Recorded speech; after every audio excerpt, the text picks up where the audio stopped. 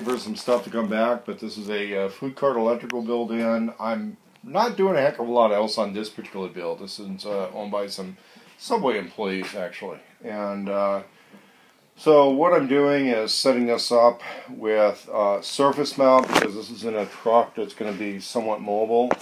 And a lot of sharp stuff on the insides of the walls, so we, we really don't want to go through trouble putting this behind the wall. The other thing we don't want to do is frame out just to conceal wires. Okay, so there are people that will do this with conventional Romex wire. I kind of prefer the armored cable on it, and it's it's not just so that it looks like the inside of a military vehicle or something. It's it's uh, it's strong, it's flexible. You can take it back apart. You can undo these things and modify them.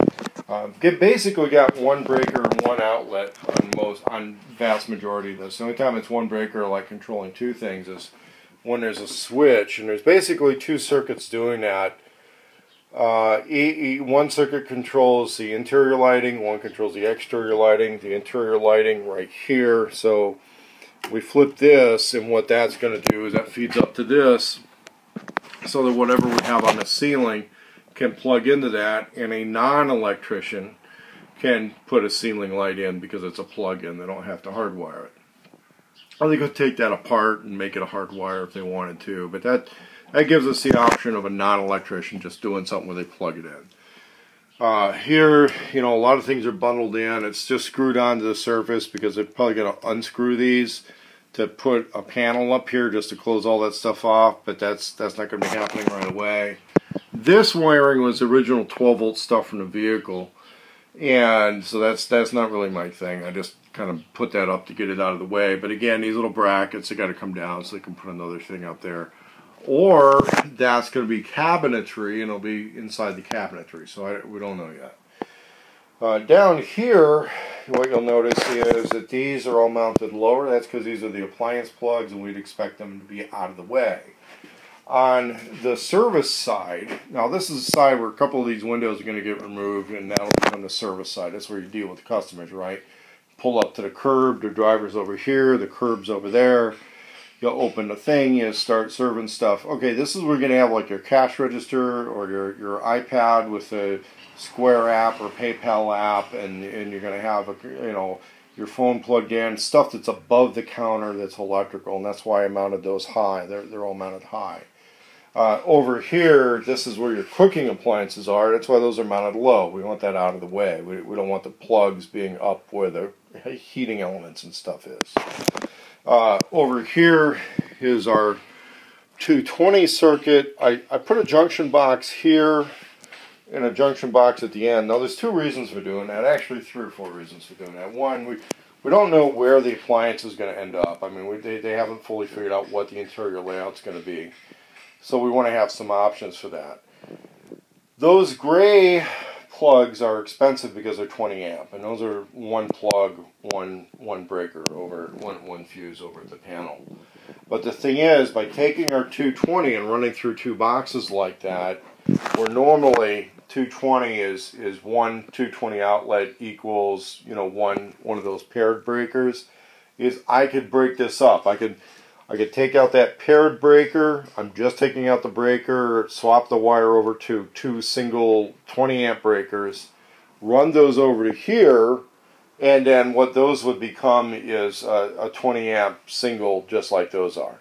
Okay, so this allows us the ability, if we put in 220 first with, with two junction boxes in, in, in the run, that allows us the ability to convert that at a later date to 20 amp single runs. Okay. And and that that matters once they've decided on what kind of kitchen equipment they're going to buy. That gives us more versatility on, on you know, and, and this is all pretty standard stuff. We've got the one one main circuit for the interior lighting, one for the exterior lighting, which right now is just running that bare cable that's how it's going to go. Uh, the whole thing feeds through in a, uh, a, basically a giant extension cord. It's thicker and heavier duty and runs full 250 power, uh, which an RV plug-in won't do. But if I'm ever doing a tumbleweed tiny house, this is also the way I want to set those up. So if anybody in Portland, Oregon wants to wire up a tumbleweed tiny house or a food cart trailer, wants to see what I do, I'm going to use this video kind of as a reference for that. Alright, so I'll test it all good. I got to go and deal with some other stuff, so cleaning up basically the way the light switches work.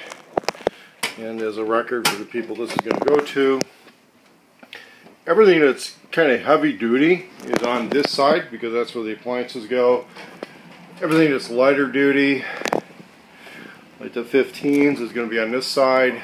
And again, I went one breaker, one box because, you know, we got room in the panel anyway. And then a neat little way to encode these things, like you get an upper and a lower on one of these, is upper will be a light, lower will be a plug, because lights are always above plugs. That's, that's kind of like the, the way of remembering it. Lights are above plugs. The little uppers are for lights, the little lowers are for plugs. Even like that one right there is running actually the two mini circuits. Um, the upper is the one that's running the switch to the this thing because this thing is eventually going to run the outside lighting. The lower runs actually those two plugs plus that that box right there. And that's just so that nothing's nothing's really overloading out of a single thing. And we kind of don't want to use office power strips in these even for the office stuff.